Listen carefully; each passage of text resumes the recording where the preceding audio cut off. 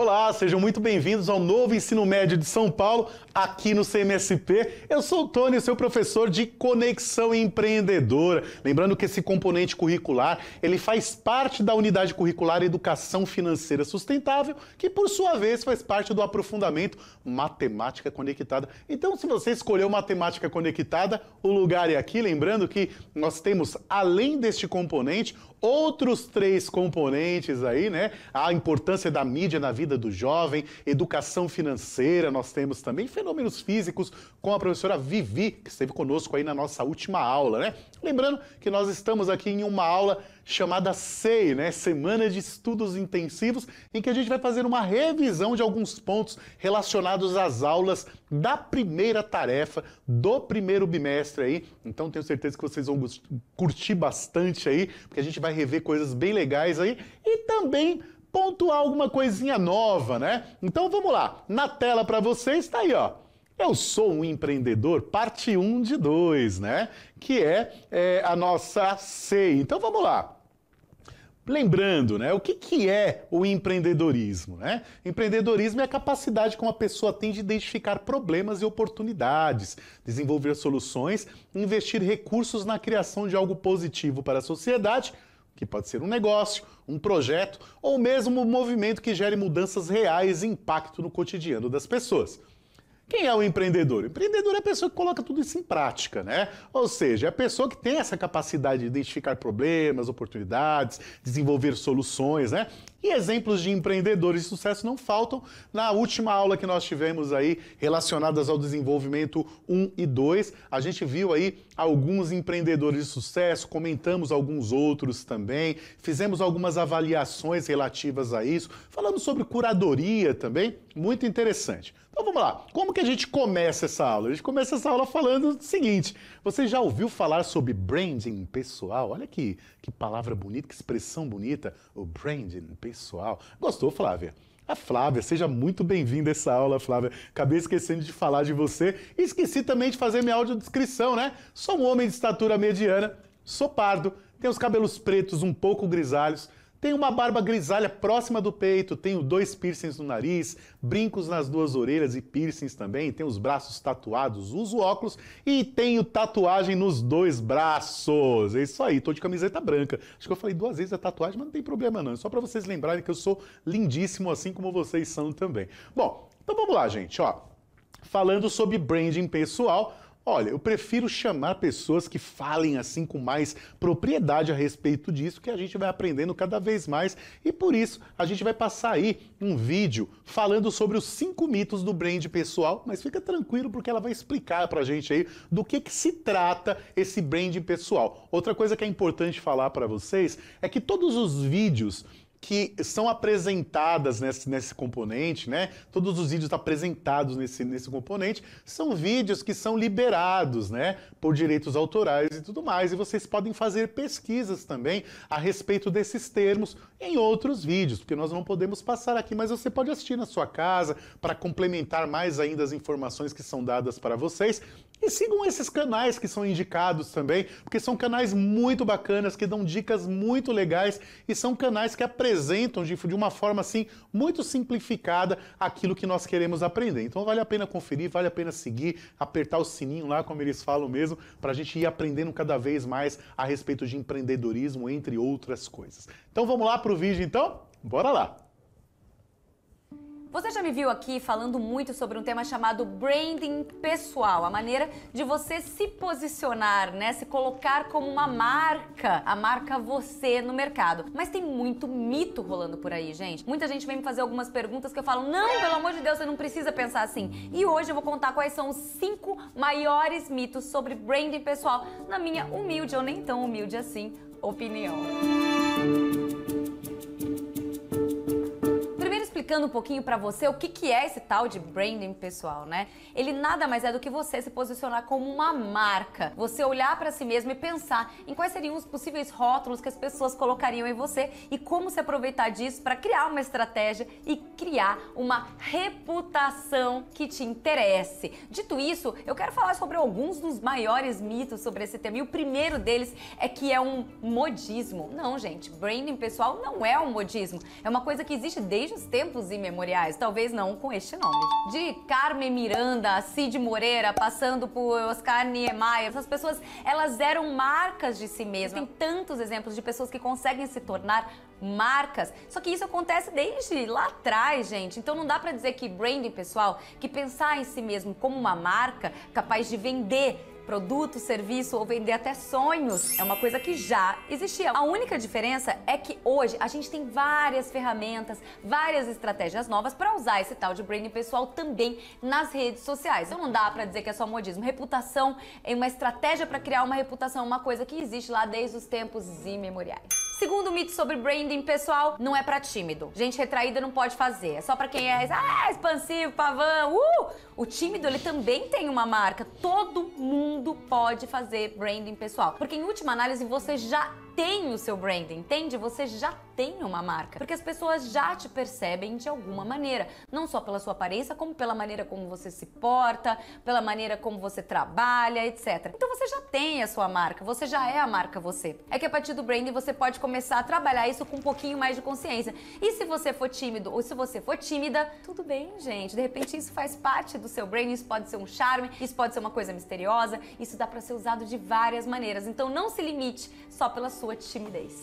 Terceiro mito sobre branding pessoal. Isso aí é coisa para quem quer ser blogueiro. Isso aí é coisa para quem quer ser influencer. Se eu não quiser, não serve para mim. Gente, é claro que os blogueiros, é claro que os influencers, as pessoas que querem trabalhar com rede social, elas se beneficiam muito de fazer um processo de branding pessoal. Eu, não porque necessariamente isso vai trazer números, mas porque isso vai criar consistência. A partir do branding pessoal, a pessoa consegue criar um caminho, ser reconhecida em alguma área. O branding pessoal, gente, ele serve muito bem para quem está, por exemplo, no meio corporativo. Ele serve para qualquer tipo de profissão, porque em última análise ele te ajuda a tomar consciência de como está sendo visto e melhorar essa imagem, para que isso te traga mais jobs, para isso te trazer mais reconhecimento, as pessoas entenderem todo o seu potencial. É como se você desse um empurrãozinho para as pessoas entenderem qual é a sua melhor versão e quais são são as suas maiores habilidades. Então, não é enganar ninguém, é simplesmente elevar o que você tem de mais bacana, comunicar isso para as pessoas, porque às vezes você é incrível e as pessoas não estão sabendo, elas não são obrigadas a adivinhar. E isso serve para qualquer profissão, dentro ou fora de rede social, gente. Esse negócio de que branding é só para ah, só para influencer Mentira, não é. Branding é para todo mundo, branding é para mim, branding é para você também. Mito 4 sobre branding pessoal. Aí eu vou precisar abandonar as coisas que eu gosto, eu vou ficar numa prisão. Eu não vou mais poder fazer tudo que eu gosto, eu vou ter que escolher. Claro que quando a gente fala de branding pessoal, a gente fala em encontrar um nicho, encontrar um diferencial, tentar encontrar aquele seu borogodó, aquela situação específica que as pessoas te reconheçam. Por quê?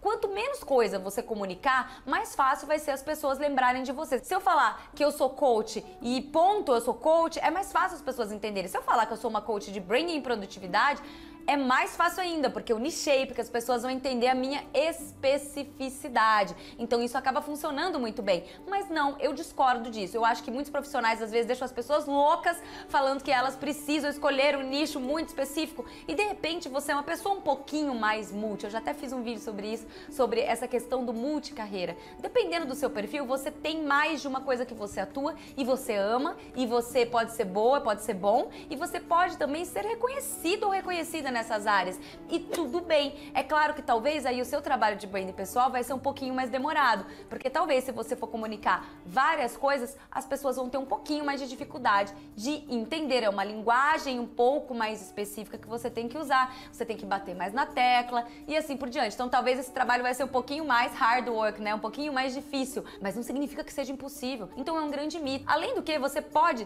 ter várias áreas de atuação e comunicar só algumas e bater na tecla de algumas e continuar fazendo ali as outras coisas que você ama. O branding, gente, eu sempre digo isso, ele não é para ser uma camisa de força. Eu acho que esse é um entendimento antigo e ultrapassado do que é o branding pessoal. O branding pessoal bem feito, você como marca, é para ser uma coisa que te libere. Eu digo que é mais para ser, sabe, quando você tira aquele sapato apertado, do que quando você põe o sapato apertado. Então essa é uma mentalidade que eu quero trazer para você. Se libera disso e vamos trabalhar da melhor maneira possível. E o quinto mito tem a ver com o quarto, que é essa história de eu vou perder a minha espontaneidade. Muita gente já veio me perguntar sobre isso. Então eu não vou mais poder ser espontânea, eu vou ter que de repente pensar em absolutamente tudo que eu tô fazendo porque agora eu tenho uma marca pra zelar. Gente, é claro, quando você pensa, por exemplo, em artistas ou em pessoas que ficam muito famosas, elas às vezes começam a ficar meio, né, ali travadas, porque elas acabam fazendo o tal do media training, né, um treinamento de mídia. Com você não vai acontecer exatamente a mesma coisa, mas de fato, o brand pessoal, ele pressupõe um pouquinho de filtro. Esse filtro não é para você não falar o que você pensa, mas é para você ter consciência do que você diz. Você entende a diferença? Você quer falar de política na rede social? Pode falar, você tem liberdade de expressão, pelo amor de Deus, faça o que você quiser. Mas saiba que isso gera interpretações. Então é você ter consciência da sua fala, você ter consciência do que a sua espontaneidade pode te trazer de bom e de ruim. Porque de repente seu branding é todo focado em você falou, ser né? uma pessoa absolutamente espontânea, muito. as pessoas amam isso, dá super certo, ó, vamos lá. De repente você passa do ponto, você é uma pessoa que não tem controle emocional, por exemplo, e isso é percebido de uma maneira negativa, uma maneira que te traz frutos não tão bacanas assim. Então é melhor começar a pensar sobre isso. Você entende a diferença? Então você não tem que perder a sua espontaneidade. O branding pessoal vai sim te orientar a pensar melhor na sua comunicação. Então acaba sendo uma comunicação um pouco mais controlada, uma comunicação mais pensada, mais consciente. Esses foram cinco mitos que eu mais vejo, mais escuto, mais sou perguntada sobre branding pessoal. Espero que você tenha gostado dessa história dos mitos e que você goste desse assunto. Tem curso online sobre esse tema, tem curso presencial, tem muita coisa. Acompanha no meu site brufiorete.com.br agenda e várias outras coisas que vão aparecer aí na sua tela, nas minhas redes, principalmente brufiorete, que é onde eu estou ali no Instagram, a rede que eu mais costumo usar, inclusive para fazer o quê? O meu branding pessoal de uma maneira espontânea, porém levemente pensada, né, gente? Que a gente não é o quê? Quê? Palhaça, né? É isso. Eu te vejo aqui na próxima terça-feira, hein? Muitos beijos. Gostei muito desse vídeo. Tenho certeza que você gostou também falar sobre brand pessoal. Você já tinha ouvido falar nisso? Então, eu pontuo algumas coisas que são interessantes nesse vídeo. O primeiro deles é ela falar né, sobre a importância mesmo desse branding pessoal e levar em consideração que a ideia de brand pessoal não é só para quem é influencer, né? Então você precisa criar um perfil para que as pessoas te reconheçam dentro do seu negócio ou dentro da carreira que você é, escolheu seguir, escolheu traçar. Por exemplo, quando você me vê dando aula para você, você pensa no professor Tony. Ah, é o professor Tony do Centro de Mídias, né? Ele dá aula de matemática para os anos finais, ele também dá aula de conexão empreendedora. Porque esse é o brand que eu vendo para vocês aqui no Centro de Mídias. Mas eu sou escritor, cantor, compositor, eu faço trabalho de gravações para várias editoras também. Eu sou cerimonialista, eu trabalho com música, mas isso você não sabia. Porque o que eu quero vender para você é o que te importa nesse momento, entende? Então, sim, você pode trabalhar aí, ser um, um multitarefas, né? Um, um profissional multi, mas você precisa pensar exatamente naquilo que você quer vender e para que público você quer vender. E é importante o brand pessoal. Pensa que você vai abrir uma sorveteria perto do seu bairro e você não fez essa ideia do brand pessoal e as pessoas te veem como uma pessoa, vamos dizer assim, antipática. Será que as pessoas vão ir na sua sorveteria, tomar um sorvete e ver a sua cara sabendo que você não é um cara que trabalhou essa ideia do brand pessoal? É importantíssimo, né? Lembre-se que uma das características do empreendedor é a persuasão. Né? Então lembra lá das 10 características do empreendedor pelo Sebrae. A persuasão está lá também, tá certo? Então, tome bastante cuidado com isso porque é importantíssimo. As pessoas normalmente elas buscam serviços, elas buscam produtos onde elas se sentem seguras, onde elas sentem confiança, onde elas se sentem confortáveis também. Então isso é muito importante. Outra coisa que é interessante pontuar aí nesse vídeo é a respeito da questão da opinião nas redes sociais também, a responsabilidade do que se fala, né? Lembrando que tudo aquilo que você escreve,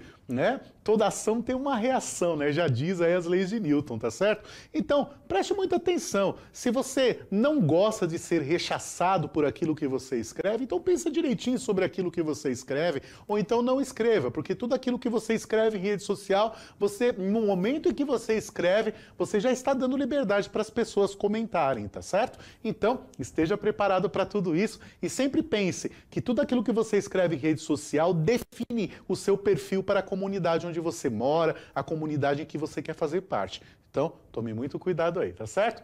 Vamos continuar? Olha, de olho na tela.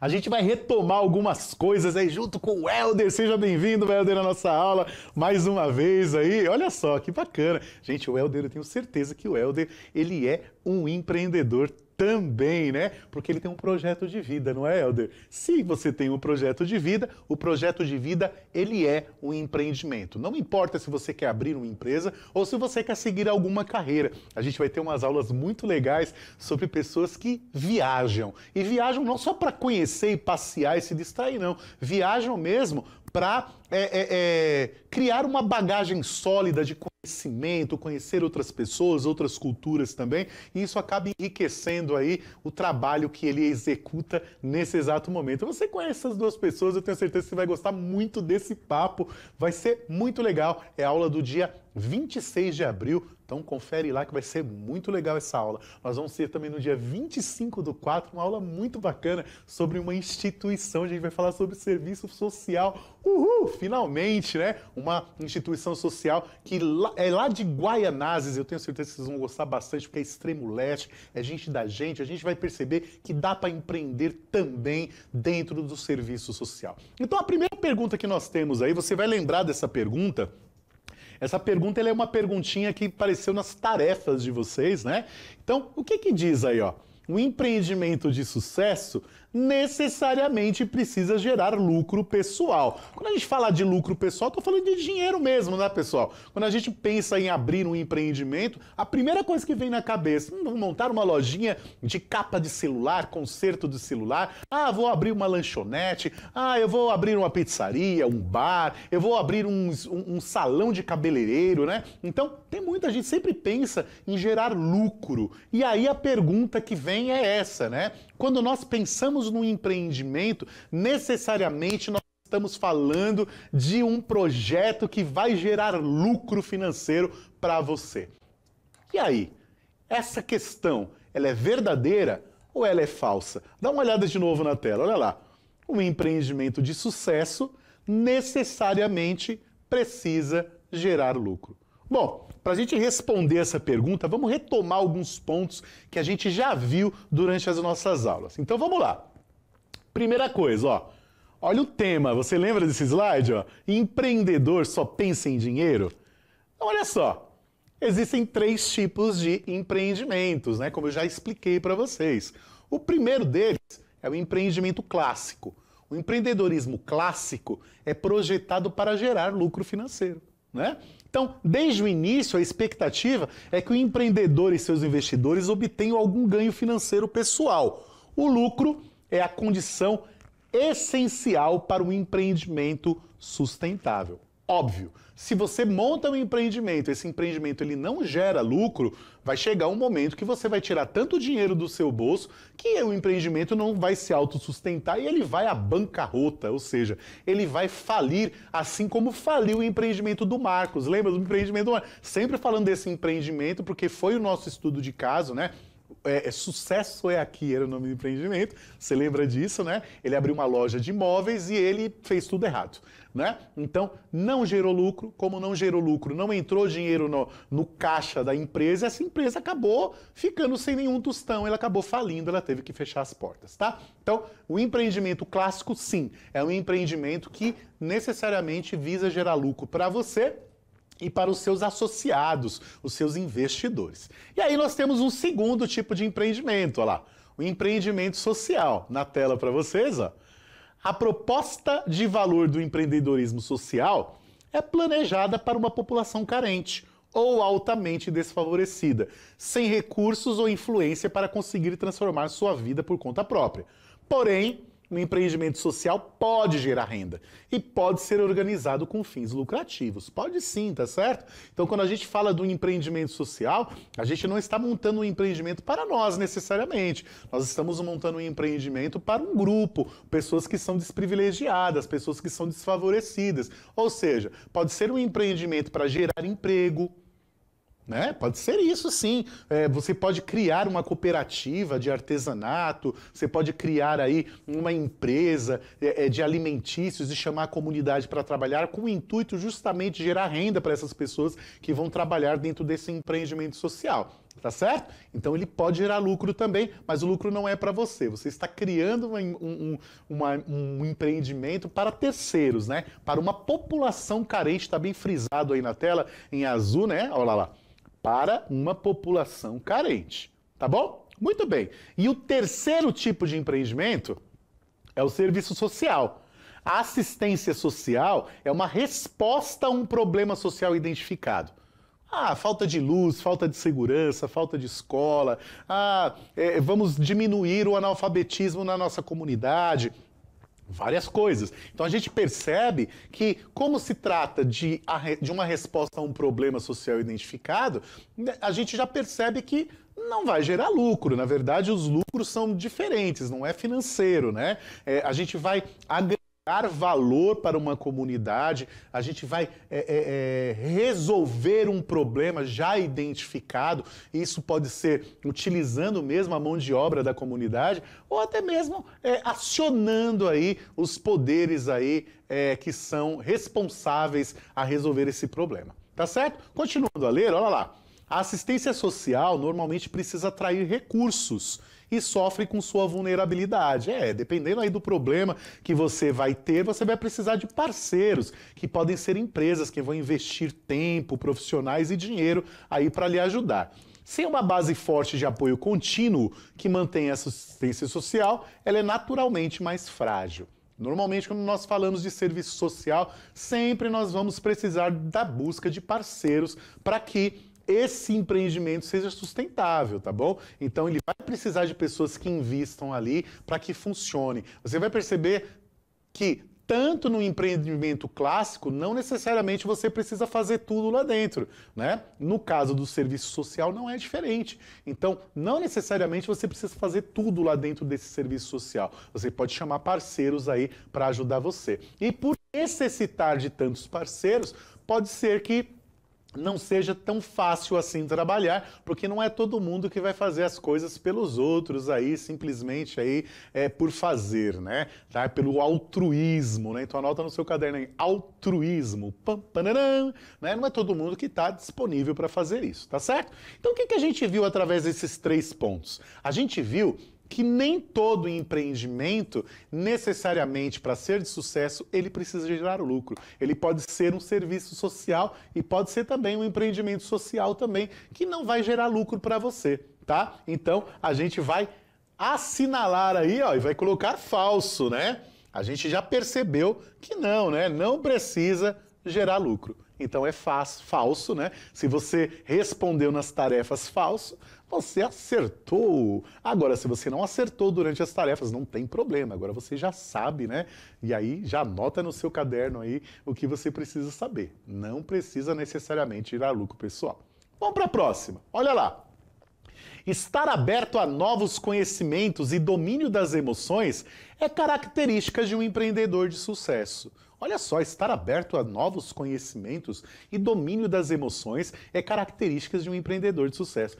Vocês lembram lá do, das características do empreendedor de sucesso? A gente comentou muito a respeito disso aí na nossa última aula com a Vivi, onde a gente colocou aí, é, é, classificamos alguns empreendedores. Foi muito legal a nossa aula, porque a gente viu três empreendimentos todos eles relacionados a alimento. Ainda bem que o Helder não estava lá, porque senão a barriguinha dele ia roncar. A gente falou do rei do churrasco, a gente falou também do Chiquinho Sorvetes, que abriu aí uma empresa de franchising. Você lembra que é franchise? Uma franquia, né? Igual o McDonald's. E nós tivemos também a, a Roberta, né? Que abriu uma empresa chamada Dona Baunilha. E ela conseguiu também abrir uma franquia, já está na sua segunda loja, e ela tinha uma meta aí, né?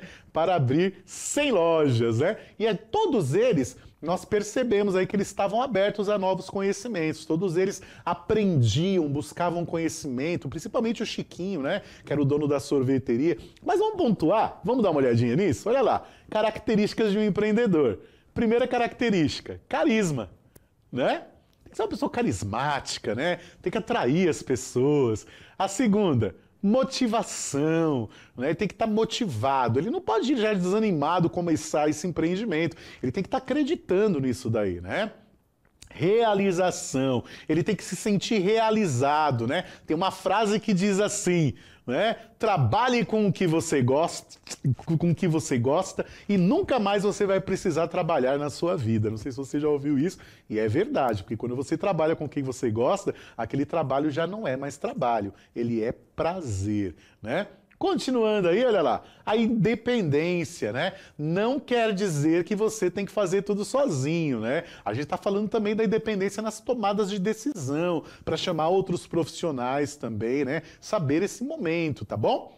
O que mais que nós temos aí? A autoconfiança. Conhecer, se, confiar em você mesmo. Essa ideia de independência e autoconfiança ela pode ser fortalecida através de uma outra característica. Que característica que é essa? A cognição.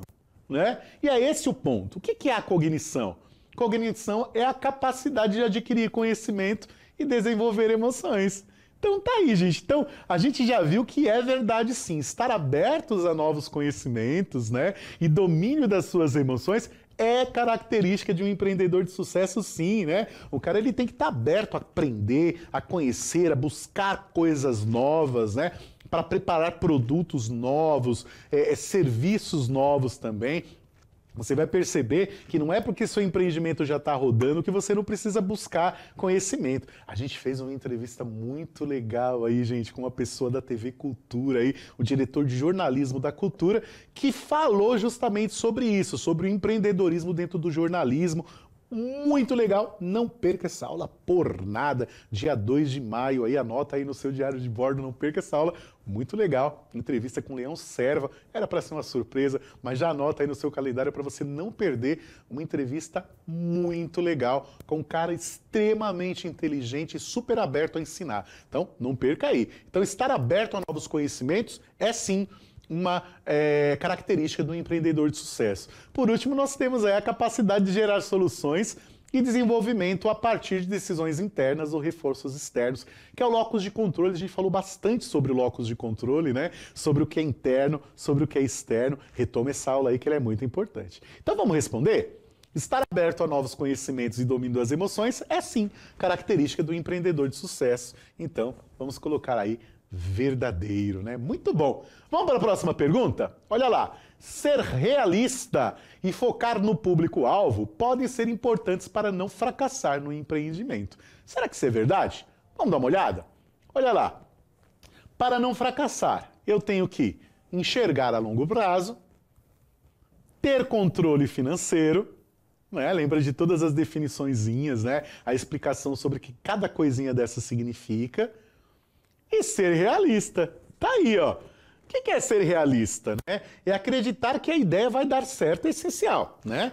Entretanto, o problema é quando o otimismo extrapola o senso de realidade.